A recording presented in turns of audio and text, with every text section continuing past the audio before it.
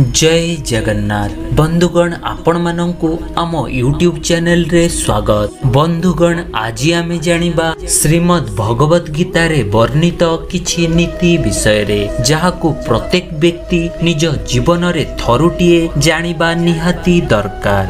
ଏଣୁ ଭିଡ଼ିଓଟିକୁ ଶେଷ ପର୍ଯ୍ୟନ୍ତ ନିଶ୍ଚୟ ଦେଖନ୍ତୁ ଓ ଭିଡ଼ିଓଟିକୁ ଗୋଟେ ଲାଇକ୍ କରିନେବା ସହ ଆମ ଚ୍ୟାନେଲକୁ ସବସ୍କ୍ରାଇବ୍ କରି ନିଅନ୍ତୁ ଓ ପାଖରେ ଥିବା ବେଲ୍ ଆଇକନ୍କୁ ମଧ୍ୟ କ୍ଲିକ୍ କରି ନିଅନ୍ତୁ। ବନ୍ଧୁଗଣ ଆପଣମାନେ ଜାଣିଛନ୍ତି ଯେ ଶ୍ରୀମଦ୍ ଭଗବତ ଗୀତାକୁ ଭଗବାନ ଶ୍ରୀକୃଷ୍ଣ ହିଁ ରଚନା କରିଥିଲେ। ଏଣୁ ଯଦି ଆପଣ ଜୀବନରେ କେବେ ବି ଭଗବତ ଗୀତାକୁ ଅଧ୍ୟୟନ କରନ୍ତି କିମ୍ବା ଶୁଣନ୍ତି ତେବେ ଆପଣଙ୍କର ସମସ୍ତ ସମସ୍ୟା ନିବାରଣ ହୋଇଯିବ। ସବୁ ସମସ୍ୟା ସମାଧାନ ହୋଇଯିବ ଓ ସଫଳତାର ରାସ୍ତା ଖୋଲିଯିବ।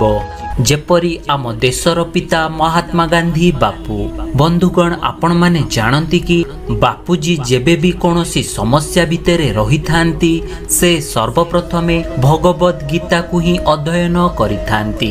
କାରଣ ବାପୁଙ୍କ କହିବା ଅନୁସାରେ ଭଗବତ ଗୀତା ଅଧ୍ୟୟନରେ କିଛି ଏପରି ଶକ୍ତି ରହିଛି ଯାହା ମନୁଷ୍ୟର ସମସ୍ତ ସମସ୍ୟାର ଅନ୍ତ କରିଦେଇଥାଏ ଓ ତାକୁ ସଫଳତାର ରାସ୍ତା ଦେଖାଇଥାଏ। ବନ୍ଧୁଗଣ ଆଜି ଆମେ ଆପଣଙ୍କୁ ଭଗବାନ ଶ୍ରୀକୃଷ୍ଣଙ୍କ ଦ୍ୱାରା କୁହାଯାଇଥିବା ଓ ଭଗବତ ଗୀତାରେ ବର୍ଣ୍ଣିତ କିଛି ନୀତି ବିଷୟରେ କହିବାକୁ ଯାଉଛୁ ଯାହାକୁ ଆପଣମାନେ ମଧ୍ୟ ଶୁଣିଲେ ନିଜେ ଅନୁଭବ କରିପାରିବେ କି ଏହା ଅକ୍ଷରେ ଅକ୍ଷରେ ସତ୍ୟ ଅଟେ। ତେବେ ଆସନ୍ତୁ ଜାଣିବା କିଛି ନୀତି ବିଷୟରେ। ନମ୍ବର ୱାନ୍ ବନ୍ଧୁଗଣ ଘରଟିଏ ଗଢ଼ିବା ପାଇଁ ବହୁତ ସମୟ ଲାଗିଥାଏ କିନ୍ତୁ ସେହି ଘରକୁ ଭାଙ୍ଗିବା ପାଇଁ ଅତି କମ୍ ସମୟ ଲାଗେ। ଠିକ୍ ସେହିପରି ସମ୍ପର୍କକୁ ଗଢ଼ି ତୋଳିବା ପାଇଁ ବହୁତ ସମୟ ଲାଗିଥାଏ କିନ୍ତୁ ସେହି ସମ୍ପର୍କ ଅତି କମ୍ ସମୟରେ ମଧ୍ୟ ଭାଙ୍ଗି ଯାଇଥାଏ। ଏଣୁ ବନ୍ଧୁଗଣ କେବେ ବି ସଙ୍କଟ ବେଳରେ ଭାଙ୍ଗି ପଡ଼ନ୍ତୁ ନାହିଁ। ମନରେ ଧୈର୍ଯ୍ୟ ଓ ସାହସ ରଖି ସଙ୍କଟକୁ ସାମ୍ନା କରିବା ଶିଖନ୍ତୁ। ତେବେ ଆପଣଙ୍କୁ ସମସ୍ତ ସଙ୍କଟର ସମାଧାନ ଆପେ ଆପେ ମିଳିଯିବ। ନମ୍ବର ଦୁଇ। ବନ୍ଧୁଗଣ ପ୍ରେମ ହେଉଛି ମନ ତଳର ଗହନ ବନର ପରିଭାଷା। ପ୍ରେମ ହୃଦୟର ଏକ ନିବୃତ କୋଣରେ ଅବସ୍ଥିତ। ଏହି ପ୍ରେମ ଯେତେବେଳେ ପରିପକ୍ୱ ଧାରଣ କରେ ଆମ ସମାଜ ଏହାକୁ ଭିନ୍ନ ଭିନ୍ନ ଦୃଷ୍ଟିରେ ଦେଖେ। କାରଣ ସେତେବେଳକୁ ପ୍ରେମୀ ଯୁଗଳ ନିଜର ସୀମାକୁ ଟପି ଯାଇଥାନ୍ତି। ଏଣୁ ବନ୍ଧୁଗଣ ନିଜର ଜୀବନକୁ ବଞ୍ଚାଇବାକୁ ଯାଇ ଅନ୍ୟର ଜୀବନକୁ କେବେ ବି ନଷ୍ଟ କରନ୍ତୁ ନାହିଁ। କାରଣ ଆପଣଙ୍କ ଭଳି ତାଙ୍କର ମଧ୍ୟ ବଞ୍ଚିବା ପାଇଁ ମନରେ ଜିଜ୍ଞାସା ରହିଛି। ବନ୍ଧୁଗଣ ସବୁ ପିତାମାତା ପୁଅଟିଏ ପାଇବା ପାଇଁ ମନରେ ଆଶା ବାନ୍ଧିଥାନ୍ତି। କାରଣ ପୁଅର ଅର୍ଥ ହେଉଛି ପୁଅ ଅର୍ଥ ଗଡ଼ିଗଲା ବୟସରେ ଠାକୁର ଦିଅ ଦେବତାଙ୍କୁ ପୂଜା କରିବ। ଆଉ ଅର ଅର୍ଥ ହେଉଛି ଅନ୍ତିମ କାଳରେ ତୁଣ୍ଡରେ ଟୋପାଏ ପାଣି ଦେବ ବା ଅନ୍ତିମ ସଂସ୍କାର କରିବ। ଏଣୁ ବନ୍ଧୁଗଣ ଝୁଣ୍ଟି ପଡ଼ିବା ଏତେ ଗୁରୁତ୍ୱପୂର୍ଣ୍ଣ ନୁହେଁ। ମାତ୍ର ପଡ଼ିଗଲା ପରେ ପୁଣି ଥରେ ଉଠିବା ପାଇଁ ଚେଷ୍ଟା କରିବା ହିଁ ବଡ଼ କଥା। ନମ୍ବର ଚାରି ବନ୍ଧୁଗଣ ମରିବା ଲୋକ ତ ଦିନେ କାହାକୁ କିଛି ନ ଜଣେଇ ମରିଯାଏ କିନ୍ତୁ ସବୁଦିନ ତ ସିଏ ମରେ ଯିଏ ନିଜ ଜୀବନଠୁ ବି ଅଧିକ ଆଉ କାହାକୁ ଭଲ ପାଇଥାଏ ଏଣୁ ବନ୍ଧୁଗଣ ଜୀବନ ଏକ ଖାତା ପରି ଦୁଇଟି ପୃଷ୍ଠା ଯାହା ଭଗବାନଙ୍କ ଦ୍ୱାରା ଆଗରୁ ଲେଖା ହୋଇ ଯାଇଛି।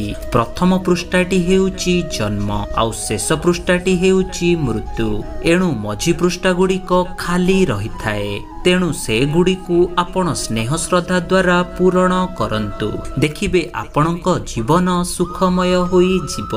ନମ୍ବର ପାଞ୍ଚ ବନ୍ଧୁଗଣ ମନୁଷ୍ୟର ବ୍ୟବହାର ଘରର ଶୁଭ କଳସୀ ଆଉ ମଣିଷ ପଣିଆ ଘରର ଟ୍ରେଜେରୀ ସୁନ୍ଦର କଥାବାର୍ତ୍ତା ଘରର ଧନ ସମ୍ପତ୍ତି। ଶାନ୍ତି ହେଉଛି ଘରର ମହାଲକ୍ଷ୍ମୀ। ଟଙ୍କା ପଇସା କେବଳ ଘରର ଅତିଥି ଆଉ ଏକତା ହେଉଛି ଘରର ମମତା। ଶୃଙ୍ଖଳା ହେଉଛି ଘରର ଶୋଭା ଓ ସମାଧାନ ହେଉଛି ଘରର ପ୍ରକୃତ ସୁଖ। ଏଣୁ ବନ୍ଧୁଗଣ ସମସ୍ତଙ୍କ ଜୀବନରେ ଅଭାବ ଥାଏ। ଥାଏ କାହାର ସମୟ ତ ଆଉ କାହାର ସମ୍ପର୍କ କାହାର ଧନ ତ ଆଉ କାହାର ଶାନ୍ତିର ଅଭାବ। କିନ୍ତୁ ଯେଉଁ ବ୍ୟକ୍ତି ସବୁ ଅଭାବ ଭିତରେ ବି ନିଜକୁ ଖାପ ଖୁଆଇ ପାରିଲା ସେ ହିଁ ପ୍ରକୃତ ଧନୀ ଅଟେ। ନମ୍ବର ଛଅ ବନ୍ଧୁଗଣ ଅତୀତକୁ କେବେ ବି ଭାବି ମନ ଦୁଃଖ କରନ୍ତୁ ନାହିଁ କି ବର୍ତ୍ତମାନକୁ ଦେଖି କେବେ ଗର୍ବ କରନ୍ତୁ ନାହିଁ ଓ ଭବିଷ୍ୟତକୁ ଭାବି କେବେ ଚିନ୍ତା କରନ୍ତୁ ନାହିଁ। କାରଣ ଏସବୁ ହେଉଛି ଭଗବାନଙ୍କ ଲୀଳା ଆଉ ଆମେ ସବୁ ନିମିତ୍ତ ମାତ୍ର। ଏଣୁ କାହା ପଛରେ ଚାଲିବାର ଅଭ୍ୟାସ ଛାଡ଼ି ଦିଅନ୍ତୁ। କାରଣ ଆପଣ ଯାହାକୁ ଯେତେ ସମ୍ମାନ ଦେବେ ସେ ଆପଣଙ୍କୁ ସେତେ ନିଚ ବୋଲି ଧରି ନେବ। ଫ୍ରେଣ୍ଡସ୍ ଯଦି ନୀତି ଗୁଡ଼ିକ ଭଲ ଲାଗିଥାଏ ତେବେ ଭିଡ଼ିଓକୁ ଗୋଟେ ଲାଇକ୍ ଟେ କରନ୍ତୁ ଓ ଏହିପରି ନୀତି ବିଷୟରେ ଜାଣିବା ପାଇଁ ଆମ ଚ୍ୟାନେଲକୁ ସବସ୍କ୍ରାଇବ୍ କରି ନିଅନ୍ତୁ ଓ ପାଖରେ ଥିବା ବେଲ୍ ଆଇକନକୁ ମଧ୍ୟ କ୍ଲିକ୍ କରି ନିଅନ୍ତୁ। ଆପଣଙ୍କ ଦିନ ଶୁଭମୟ ହେଉ। ଜୟ ଶ୍ରୀକୃଷ୍ଣ।